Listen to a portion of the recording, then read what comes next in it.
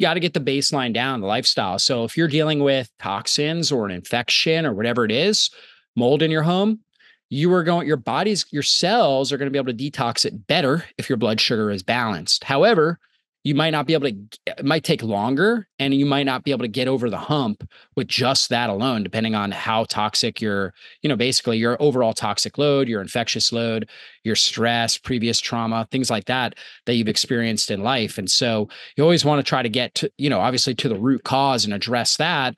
And so i i say you know biggest things i try to work on right away are sleep right? Trying to re- obviously get rid of the toxin exposure reduce your toxin exposure um, really sleep well, right? And balance your blood sugar. Like that's kind of the basics. And then from there, there's a lot of different things that we can work on. And so, um, you know, from a, a cellular health detoxification method, utilizing bioactive carbons like fulvic, humic acids um, to help pull toxins out, bring um, key minerals and nutrients into the cells, I think is really key. Uh, I would say the one the one mineral that I see people just respond like they notice an improvement right away, magnesium, right? And I would say probably 90 to 95% of people that are dealing with chronic issues that I start on magnesium notice at least 10% improvement in their symptoms right away, like within the first week of taking some sort of magnesium. So I think that's really, really key. Um, I try to get them obviously out in the sun as much as possible. But you know, a lot of cases we need to supplement with vitamin D as well. Uh, low vitamin D. So vitamin D actually plays a really important role with opioid receptor activity. And so opioids, you know, we hear about it from like a, a farm, you know, a drug perspective, uh, the opioid epidemic and things like that. But opioids means endorphins. And so like people exercise, for example, they release endorphins. It gives a pain relief effect. When you laugh, uh, you actually release endorphins. Well, actually just getting out in the sun, right? And and even just taking a vitamin D supplement actually can help increase endorphin levels in your in your body. And and so those endorphins reduce pain. They help you feel better. They help improve mood. And so i've noticed that with putting people on a good quality vitamin d um you know and and magnesium is key for vitamin d absorption. So you know i would say magnesium first but also vitamin d and getting in the sun as much as possible as well um really powerful for helping to improve the endorphins, which makes them feel better, right? And as people start to feel better, um, it's easier to follow through with everything else that we talk about. So I think those things are are, are critical. Um, you know, liver support I think can be really really helpful. Most people, if you're dealing with chronic health problems, you need to support your liver. Um, you know, you, you just got to make sure that that's your major filtration system, like it's your major drainage pathway. We need to open up all the drainage pathways lymphatic system, right? All that. And so movement in general is, is key for all drainage. We need to make sure the bowels are moving well, um, that you're hydrating well. So electrolytes in general, good hydration and electrolytes, super key. So good, clean, filtered water, reverse osmosis, distilled, um, you know, something really clean as far as water. So you're not getting a whole lot of toxins in your system, adding in electrolytes. And you could just do it with like a good salt, like Redmond's real salt or something like that. Put a little bit of that in your water, or put a little bit on your tongue and drink that. That actually, believe it or not, the salt, the sodium itself from a good quality uh, salt source is actually antihistamine. So a lot of people are dealing with histamine intolerance, mast cell. Um, that actually will reduce some of that histamine. The hydration is really key. Um, so that helps move the bowels, helps the lymphatic system, getting out, moving, even if it's just walking um, just getting out and moving your body, super, super key.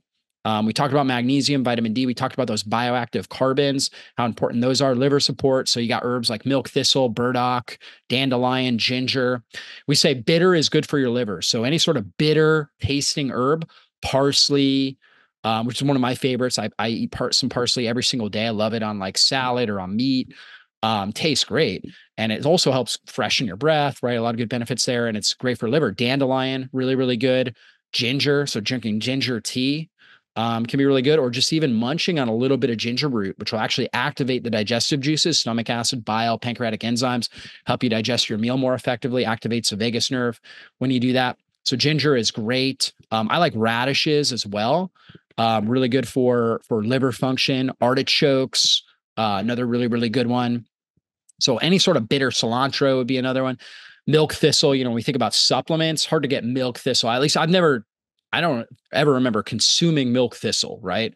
but I, I take it in a supplement form. It's probably the most well researched uh, herb for liver cell regeneration and supporting liver health and also helping thin the bile and allowing for good healthy bile flow which is key for eliminating toxins right so our liver deactivates the toxins but it's got to get rid of them and that's how it do- what it does through the bile and then that turns into feces you know and we poop it out. We need to be pooping once or twice a day at least right to remove all the toxins.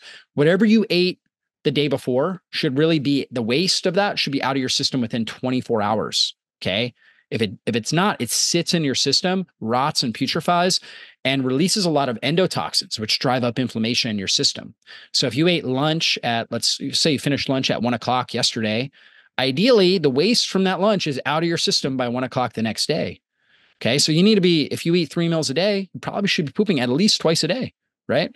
Um, in order to get the waste uh, from all of that out of your system. So super key. You know, you, we need to make sure we're opening up all those drainage pathways, supporting our system. I think that's that's really really key from immune health perspective. A bunch of things that I like. Um, I have a product called ImmunoCharge, and I designed it when I was researching, for example, COVID, right? And all the different things that were working best for COVID, I put all of them: N-acetylcysteine, which is glutathione support, um, selenium, zinc, magnesium, vitamin D, vitamin A, vitamin K2, um, what else? Vitamin C.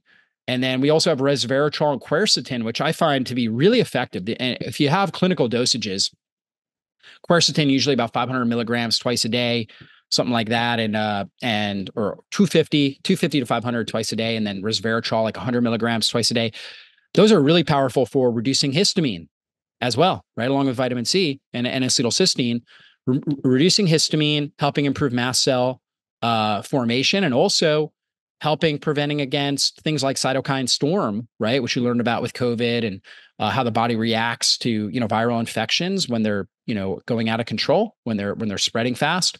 And so it helps to balance all of that. I think that's that's super key. So those I don't think necessarily are my my first step, right? Although in some cases they can be, but uh, but I think those are really super supportive compounds uh, you know, to get into the system, especially to support your immune system, help balance and regulate your immune system. So many people have either an overactive or an underactive immune system, meaning overactive, it's reacting to everything and uh, causing a lot of collateral damage in the system, a lot of more inflammation, tissue damage, autoimmunity, or underactive, where it's not killing off viruses, it's not killing off uh, bacterial infections, it's not killing off damaged cancer cells. And so we want balanced, potent and balanced immune function that's really good like almost like if you're you know if you're if you're if you have got a bullseye and you're playing you know darts right? You want something that doesn't need a whole lot of darts right? One or two and it's hitting that bullseye right and not hitting the wall um you know and so if we have a really potent but balanced immune system that's what ends up happening. It, it's it conserves our energy and creates a lot less collateral damage in our system. So i think a lot of those compounds can be really helpful